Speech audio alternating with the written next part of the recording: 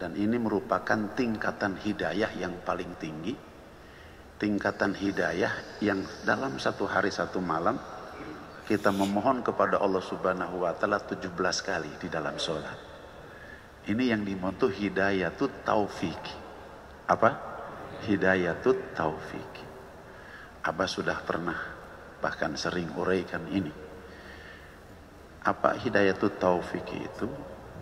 Hidayah melaksanakan hak itu, melaksanakan kebenaran itu.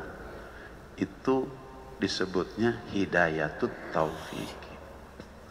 Karena tidak sedikit orang yang tahu hak, yang tahu benar. Bahkan ia pandai menyampaikan hak, menyampaikan kebenaran. Tapi ia sendiri tidak sanggup melaksanakan hak dan kebenaran itu.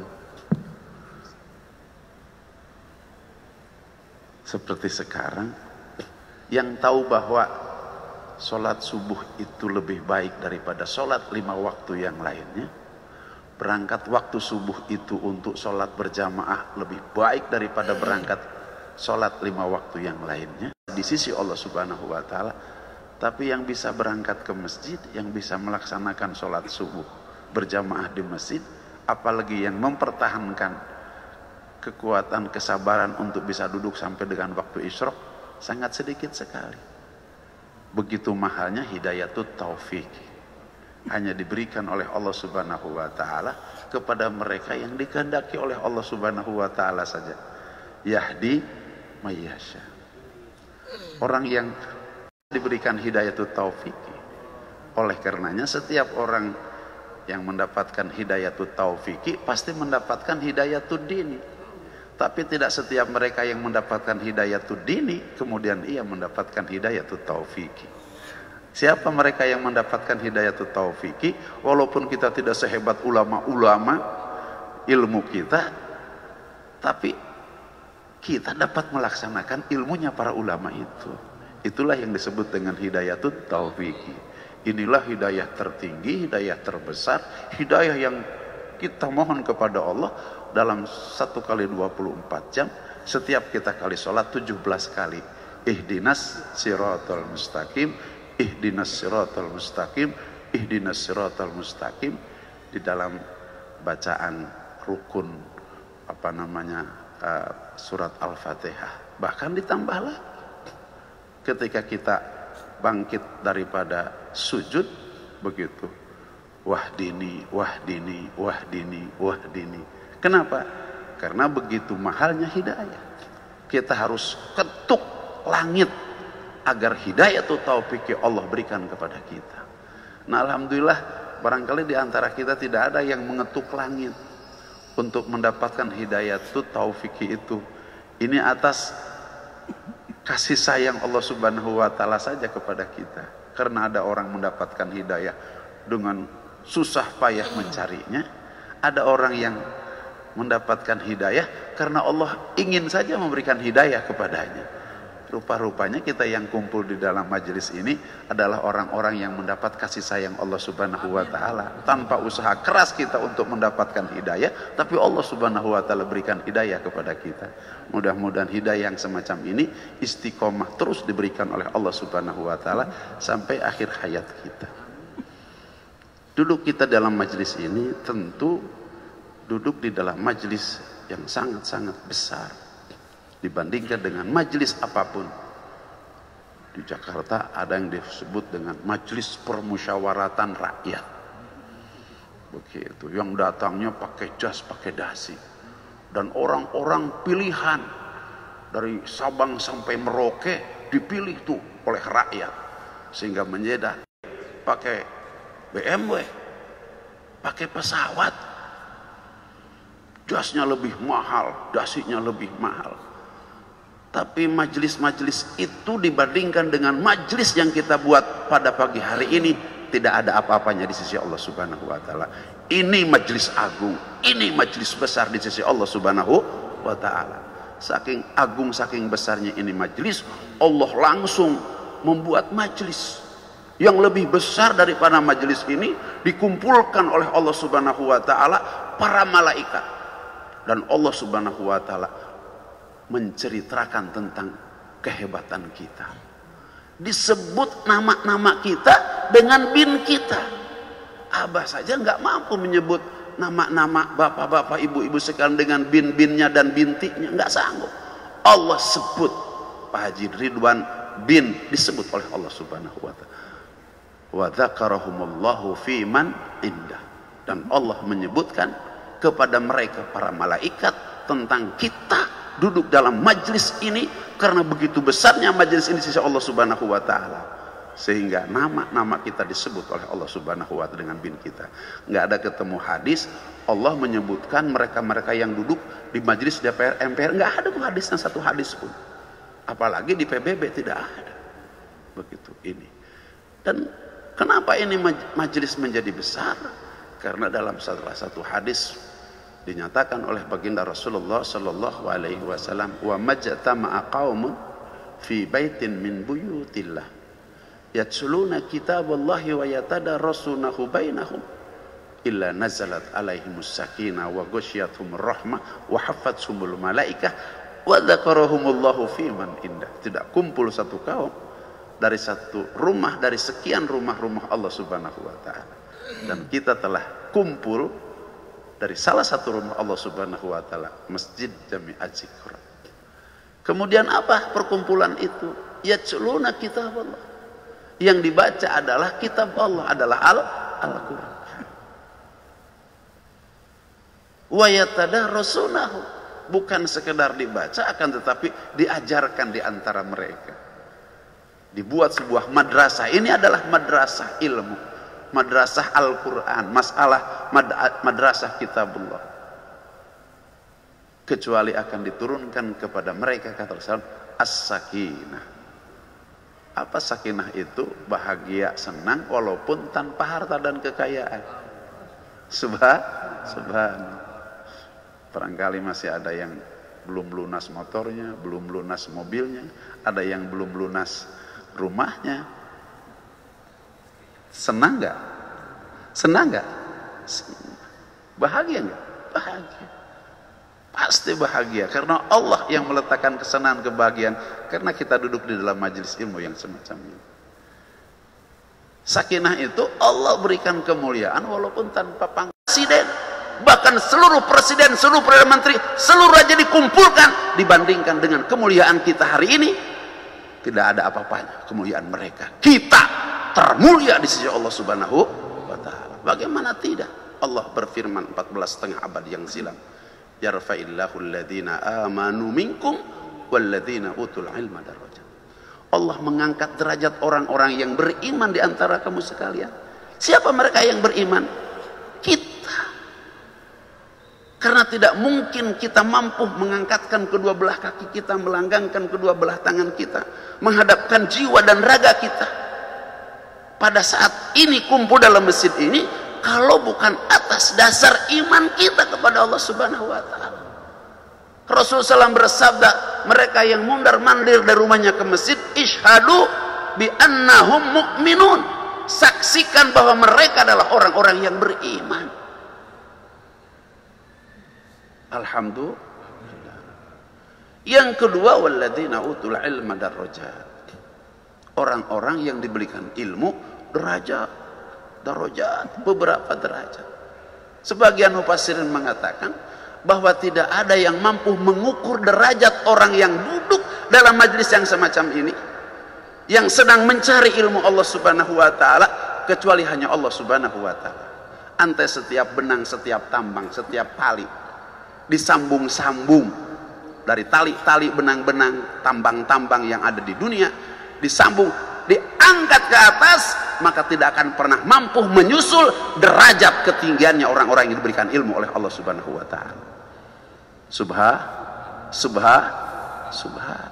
Bagaimana tidak derajat orang yang diberikan ilmu oleh Allah Subhanahu wa taala akan diangkat derajatnya setinggi-tinggi derajat belum lagi berilmu baru berangkat dari rumah masing-masing untuk mencari il ilmu. Abah ingin ulang-ulang lagi agar kita tahu kedudukan kita, posisi kita di hadapan Allah Subhanahu wa taala. Rasul bersabda dalam kitab Tanqihul Qaul man kharaja fi talabil ilmi fahuwa fi sabilillahi hatta yarji'a barang siapa yang keluar dari rumahnya atau dari kampung halamannya tiada lain dan tiada bukan fi talabil ilmi dalam rangka mencari ilmu.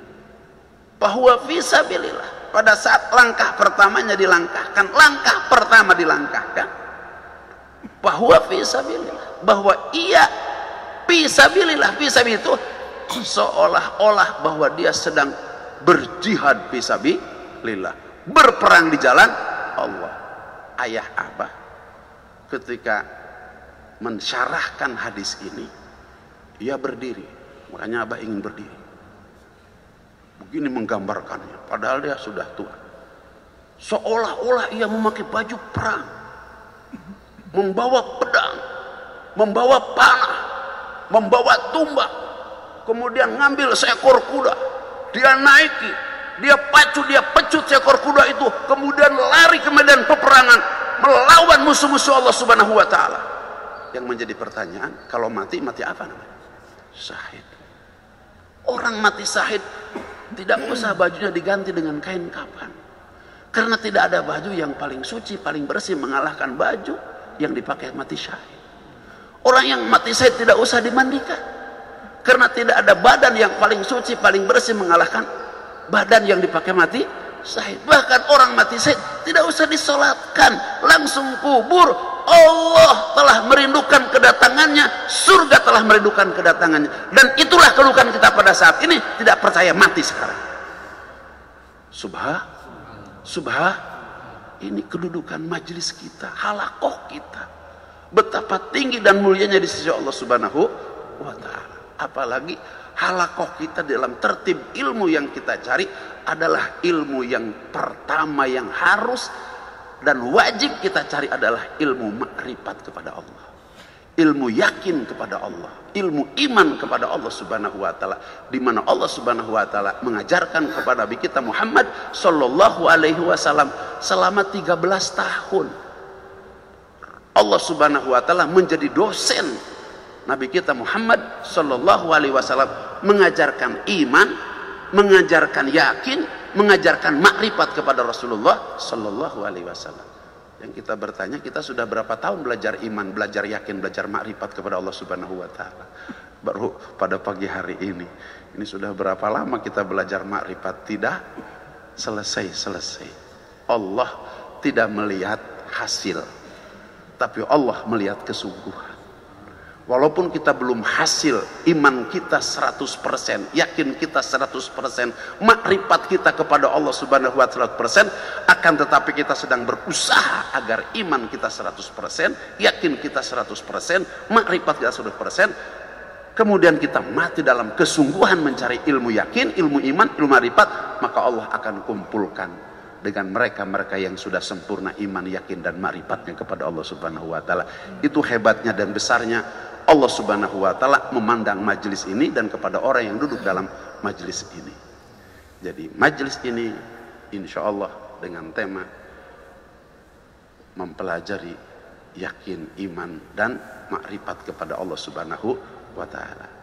Syekh Ibnu Ruslan menyampaikan di dalam kitabnya awalu wajibin alal insani Ma'rifatul ilahi bistikoni. Ini waktu di pesantren. Jadi uh, sairnya kiai kayak begitu. Uh, Awal wajibin alal insani. Ma'rifatul ilahi bistikoni. Matannya bahasa Arab Tapi lagunya bahasa Sunda itu yang pertama diwajibkan kepada setiap umat manusia bukan kepada Islam kepada setiap umat manu, manusia. Makrifatul ilahi makrifat kepada Allah subhanahu wa ta'ala dengan sungguh-sungguh makrifat. Sungguh-sungguh makrifat itu wa'budullaha wa la tusyriku bihi syai'a ain hendaklah engkau mentauhidkan kepada Allah, meyakini Allah, mengimani Allah, memakrifati Allah Subhanahu wa taala. La tusyriku bihi syai'a. Jangan pernah ada sekutu sayan walaupun sebesar melekul, walaupun sebesar debu. Karena Allah Subhanahu wa taala tidak akan pernah mengampuni dosa seseorang yang di dalam hatinya ada sekutu kepada Allah Subhanahu wa taala. Walaupun sebesar debu innallaha la yaghfiru ayyushraka bihi. Sesungguhnya Allah tidak akan pernah mengampuni dosa syirik kepada Allah Subhanahu wa taala. Walaupun syirik itu hanya sebesar debu.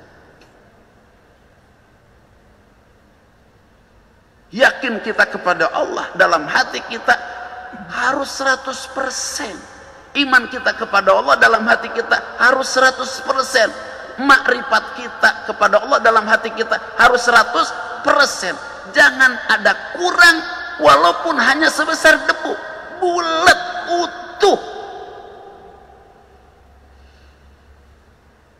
Malaikat Jibril ketika Allah ditanya oleh malaikat Jibril ketika Allah subhanahu wa ta'ala meminta sekerat daging dibentuk oleh Allah subhanahu wa ta'ala daging itu kemudian digantungkan dalam rongga dada umat manusia.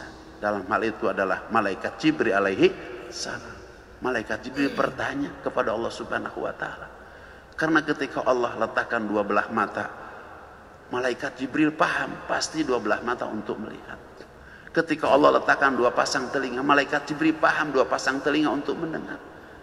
Ketika Allah letakkan hidung Malaikat Jibril paham ini pasti untuk mencium, untuk bernapas. Ketika Allah letakkan bibir, lidah, gigi, malaikat Jibril paham bibir untuk berkata-kata, lidah untuk merasa, gigi untuk mengunyah.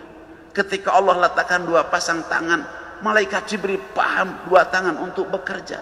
Ketika malaikat, ketika Allah Subhanahu wa taala pasangkan dua belah kaki, malaikat Jibril paham dua belah kaki untuk berjalan, untuk berlari tapi ketika Allah membentuk dari segumpal daging kemudian digantungkan dalam rongga dada malaikat Jibril bungkam seribu bahasa. Bertanya kepada Allah Subhanahu wa taala Rob ini apa? Kata Allah Subhanahu wa taala al-qalb ini adalah hati. Kemudian buat apa? Engkau buat hati dan engkau gantungkan dalam rongga dada kata Allah Subhanahu wa taala tempat bersemayam aku subha tempat bersemayam aku. Jadi hati kita itu tidak boleh ada siapa-siapa. Yang bersemayam dalam hati kita hanya Allah subhanahu wa ta'ala. Hanya Allah subhanahu wa ta'ala. Di hati kita hanya ada Allah tidak boleh ada yang lain. Karena dalam rumusan cinta sangat salah bahwa kita mencintai memiliki dalam hati kita selain memiliki, memiliki Allah selain mencintai Allah. Mau cinta sama siapa? Karena satu-satunya yang secara total memberikan kasih sayang kepada kita hanya Allah subhanahu wa ta'ala. Kok bisa cinta kepada yang lain? Emang mata kamu dari siapa? Telinga kamu dari siapa hidung, lisan, bibir kamu dari siapa? Tangan kaki kamu dari siapa? Baju kamu yang dipakai dan yang di lemari yang banyak itu dari siapa? Rumah kamu, mobil kamu, sawah kamu, ladang kamu dari siapa? Termasuk istri kamu dan suami kamu dari siapa? Allah berikan kepada kamu agar kamu cinta kepada Allah Subhanahu wa taala. Itu. Dan kalau kita sudah menunjukkan iman yakin kita makrifat kita, cinta kita kepada Allah Subhanahu wa taala 100% tidak ada siapa-siapa. Allah berfirman dalam hadis qudsi, "Idza wajadtani wajadta kulla syai." Wa idza faqadtani faqadta kulla syai. Apabila engkau mendapatkan aku dalam hati engkau hanya ada aku tidak yang lain, maka engkau akan mendapatkan segalanya. Dunia aku kasih kepada engkau, nanti di akhirat surga aku kasih kepada engkau. Wa faqadtani apabila engkau tidak mendapatkan aku jangankan surga dunia tidak aku kasih. Walaupun ada yang dikasih hanya sebuah fata morgana. Bohong bohong bohong. Waman a'radu an dzikri fa inna lahu ma'isyatan donka barang siapa yang hatinya berpaling daripada aku ia melihat yang lain tidak melihat aku.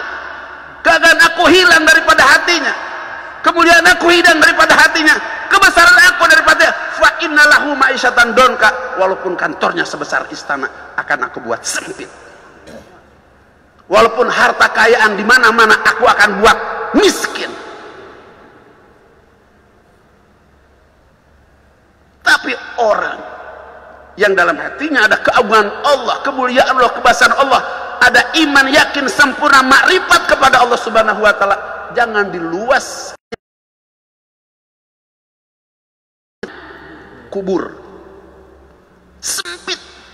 Tidak ada sempit nanti dalam kehidupan kita mengalahkan sempitnya kubur. Sudah dimasuki diinjak-injak betul nggak? Yang nyuruh injak-injak anaknya bayangkan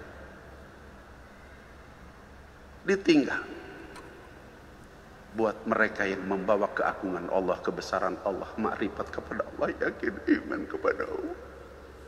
Kubur akan dibuat oleh Allah Subhanahu wa taala sejauh mata memandang. Luas. Kubur akan dibuat terang oleh Allah Subhanahu wa taala. Bahkan lebih jauh daripada itu kubur kita buat mereka yang membawa keagungan, kebesaran, kemuliaan, makrifat, iman, yakin kepada Allah Subhanahu wa taala akan menjadi raudhatun min riyadil jinan. Salah satu taman daripada taman-taman surganya Allah Subhanahu wa taala. Ilmu ini yang kita pelajari setiap pagi pada pagi subuh dalam halaqah di Masjid Azikra ini. Ilmu ini yang akan membuat kuburan kita menjadi luas sejauh mata memandang. Kuburan yang gelap akan menjadi terang mengalahkan terangnya cahaya matahari. Kubur kita akan menjadi indah jauh lebih indah daripada keindahan dunia karena Allah akan jadikan raudhatun min riyadil jinan salah satu taman daripada taman-taman surganya Allah Subhanahu wa taala. Karena orang yang celaka dan selamat itu dalam kehidupan di masa yang akan datang itu diawali dalam kehidupan di kubur. Dalam kehidupan di kubur. Karena di kubur itu yang pertama ditanyakan itu bukan wama imamuka? Tapi man rabbuka? Yang berkaitan dengan keyakinan kita keimanan kita makrifat kita kepada Allah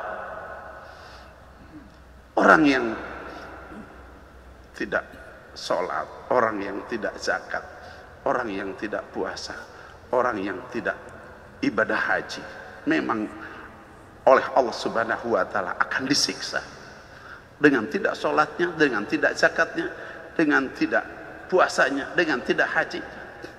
Tapi dengan imannya setelah siksaan habis daripada siksa meninggalkan sholat, zakat, puasa lima waktu, dia akan dihantarkan dengan imannya masuk ke dalam surganya Allah Subhanahu wa taala. Tapi orang yang tidak beriman, walaupun sholat, walaupun zakat, walaupun puasa, walaupun ibadah haji, tidak ada harapan untuk masuk ke dalam surganya Allah Subhanahu wa taala. Nanti di surga oleh Allah Subhanahu wa taala, di, di neraka oleh Allah Subhanahu wa taala akan terdengar seseorang yang masih membawa iman sehingga malaikat sudah tidak lagi mendengar sudah tidak lagi melihat. Sehingga malaikat sudah naik tidak lagi berada dalam lubang-lubang api neraka. Kemudian ketika naik ditegur Allah subhanahu wa ta'ala kalian kenapa naik? Sudah habis ya orang-orang yang beriman. Sudah habis orang-orang yang meninggalkan sholat. Kata Allah subhanahu wa ta'ala aku masih mendengar aku masih melihat. Ada satu orang lagi yang harus kalian angkat karena walaupun ia tidak sholat, walaupun ia tidak zakat, walaupun ia tidak puasa, walaupun tidak ibadah, dia ada iman dalam hatinya.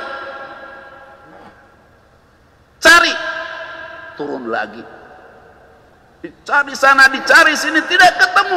akan tapi ketika diangkat keraknya api neraka kemudian ada di balik kerak api neraka terlihat cahaya nur iman seseorang itu seperti cahaya ketika matahari menyenter tanah ada klip klip klip. Seperti itulah iman kita nanti dalam ajab api neraka. Diambil oleh malaikat dimasukkan ke dalam ma'ul hayat sehingga ia bangkit. Sebesar setinggi Nabi Adam alaihissalam. Karena badan ideal kita sesungguhnya badan Nabi Adam alaihi salam 27 meter tingginya 9 meter bahunya dadanya 9 meter. Itulah Allah subhanahu wa ta'ala ciptakan ideal bentuk umat manusia sebagai ahli surga. Kemudian wajahnya tidak wajah seperti ini. Wajahnya wajah Nabi Yusuf alaihi salam. Suaranya adalah Nabi Daud alaihissalam perangai dan akhlaknya Nabi Muhammad Sallallahu Alaihi Wasallam. Ini sesungguhnya wajah-wajah surga itu oleh Allah telah dicontohkan. Nabi Yusuf alaihissalam. Badan badan ahli surga telah dicontohkan Nabi Adam alaihi salam. Kemudian suara ahli surga itu Nabi Daud alaihissalam. Perangai akhlak ahli surga Nabi kita Muhammad sallallahu alaihi segala kesempurnaan adalah diri kita sehingga ia tidak merasa harus berbadan seideal itu. Harus parasnya seganteng itu. Suaranya seindah itu. Perangainya selembut. Rasulullah SAW oleh malaikat ayo masuk. Masuk. Subhanallah. Karena ia malu sehingga ia nggak mau cukup dia bisa selamat dalam api neraka tidak usah masuk surga lah. Dengan selamat dari ajab api neraka sudah cukup. Tapi kata malaikat Ridwan di dalam ada hak kamu. Ada hak kamu karena iman kamu. Dan seorang itu diberikan oleh Allah Subhanahu wa taala surga yang luasnya 10 kali lipat daripada alam dunia. Iman itu mahal harganya akhirnya ia masuk kemudian ke dalam ke dalam. Maka dilihat ada gedung besar indah. Tidak ada gedung yang pernah ia lihat sebesar itu dan seindah itu. Dan yang paling dia heran ada nama. Bin dia ada nama dia dan bapaknya. Dia semakin keheranan. Betulkah itu namaku dan nama bapakku? Dia baru sedikit yakin ketika bidadari yang sudah kesel nunggu pada bangun. Ini akan ke mana aja? Pas terlihat oleh bidadari, langsung bidadari keluar, kemudian dipanggil akan ke sini. Sudah lama kita nunggu, masih nggak percaya. Apa benar ini bidadari teh? Begitu. Akhirnya bidadari musyawarah. Dia nggak mau masuk. Yuk kita turun saja ke bawah. Kita jemput. Maka ribuan bidadari menjemput. Karena tidak mau akhirnya terpaksa digotong. Dan ini cerita Rasulullah SAW di hadapan para sahabat radhiyallahu anhu. Di bawah Rasulullah SAW ada yang terisak-isak. Banjir air mata membasahi pipi masih jenggot. Siapa beliau? Sayyidina Ali, Sayyidina Umar radhiyallahu Ditanya oleh Rasulullah, "Ya Umar, lima tabki? Kenapa engkau sedih? Kenapa engkau nangis?" Aku orang yang paling banyak dosa dari sekian orang yang ada di sini. Tidak ada yang paling preman kecuali aku. Rob, aku ingin masuk surga seperti itu saja. Subhan, subhan, kalau jatah itu diambil oleh Umar bin Khattab radhiyallahu kira-kira jatah kita yang mana kira-kira Subhan semoga duduk kita dalam majelis tauhid pada pagi hari ini mengantarkan kita masuk ke dalam surganya Allah Subhanahu wa taala. Tentu kita tidak ingin merasakan bagaimana ajab kubur bagaimana ajab api neraka karena ajab-ajab itu adalah ajab-ajab yang sangat dahsyat.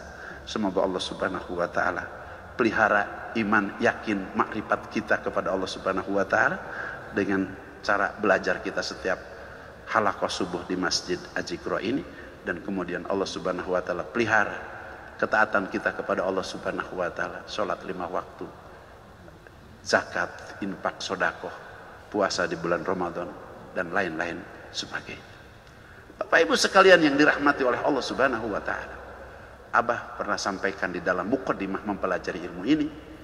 Imam Ghazali menyampaikan dalam kitab Ihya Ulumuddin bahwa ilmu itu hanya terbagi tiga bagian saja. Yang pertama, al-ilmu bidzatillahi ta'ala. Yang kedua, al-ilmu bisifatillahi ta'ala. Dan yang ketiga, al-ilmu biaf'alillahi ta'ala.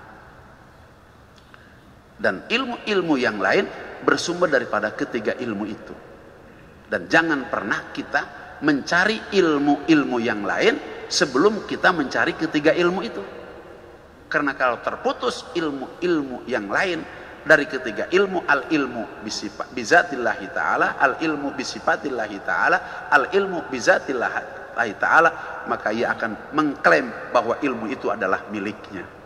Padahal tidak ada ilmu di dunia ini kecuali ilmu Allah Subhanahu wa taala. Wa ma utitum minal ilmi illa qalila. Tidak aku berikan kepada kalian daripada ilmu kecuali sedikit saja ilmu yang Allah berikan kepada para nabi, kepada para rasul. Ilmu yang Allah Subhanahu wa taala berikan kepada para sahabat. Ilmu yang Allah berikan kalau ilmu-ilmu yang diberikan kepada para nabi, para rasul, kepada para sahabat, kepada para wali, kepada para imam, sebegitu sedikitnya, lantas ilmu kita kira-kira seperti apa? Kira-kira ilmu kita seperti apa sedikitnya dibandingkan dengan ilmu Allah Subhanahu wa taala. Pertama yang harus kita dari ilmu-ilmu itu adalah ilmu makrifat kita kepada Allah Subhanahu wa taala. Di dalam bagian ilmu itu maka ilmu disusun oleh para ulama yang uh, sudah dapat melihat secara seksama tentang Al-Qur'an, tentang hadis yang harus kita yakini dari sifat-sifat Allah Subhanahu wa taala yang tidak terhingga itu jumlahnya ada 20 sifat. Jumlahnya ada 20 bukan berarti Allah Subhanahu wa taala sifatnya hanya 20, tidak ada yang mampu menghitung sifat Allah. Akan tetapi ketika kita meyakini dengan sifat yang 20 dari sifat-sifat Allah Subhanahu wa taala cukup kita untuk mendapatkan iman, yakin dan makrifat yang sempurna kepada Allah Subhanahu wa taala. Dari 20 itu dibagi kepada empat bagian. Yang pertama sifat nafsiyah. Yang kedua sifat salbiyah. Dan yang ketiga sifat ma'ani. Dan yang keempat sifat maknawiyah. Pertama adalah nafsiyah. Yang kedua adalah salbiyah. Yang ketiga adalah ma'ani. Dan yang keempat adalah maknawiyah. Yang kita sedang pelajari nafsiyah sudah, salbiyah sudah adalah ma'ani dan maknawiyah. Ma'ani dan maknawiyah itu masing-masing jumlahnya ada tujuh. Yang pertama kudrot, irodat, ilmu, hayat, sama, basor, kalam. Maknawiyah adalah kodiron, muridan, aliman, hayan, samian, basiron, mutakaliman. Yang biasa kita sering dengar anak-anak kecil melantunkan syair ini. Wujud kidambako mukhalafatul lil hawadisi kiamuhu binafsihi wahdaniyat kudrat irodat ilmu hayat sama basor kalam kodiron muridan. Aliman hayan samian basiron mutakaliman. Nah kalau satu-satu ini sudah kita yakini, sudah kita imani, sifat-sifat yang wajib pada jat Allah subhanahu wa ta'ala, sempurnalah iman kita. Manakala kita sudah sempurna iman kita, tidak ada bagian dari Allah subhanahu wa ta'ala kepada kita, kecuali kebahagiaan di dunia, kebahagiaan kelak dia di akhirat. Ini waktunya sudah habis ya? Begitu. Jadi insya Allah kita besok yang disebut dengan al ilmu bizatillahi ta'ala al ilmu bisifatillahi ta'ala ini materi yang kita akan teruskan nanti pada hari Jumat yang akan datang. Masuk kepada bagian yang ketiga dan yang keempat. Sifat ma'ani dan sifat makna maknawiyahnya Allah Subhanahu wa taala hadanallah wa iyyakum ajmain. Wa adkhalana fi zumratil muwahhidin fi jannatin naim. Aqulu qouli hadza fastaghfiru innahu wal ghafurur rahim. Subhanallahi wa bihamdihi. Subhanakallah bihamdika. Asyhadu alla ilaha illa anta astaghfiruka wa atubu ilaik subhana rabbika rabbil izzati amma yasifun wa salamun alal mursalin. Walhamdulillahi rabbil alamin. Wassalamu alaikum warahmatullahi wabarakatuh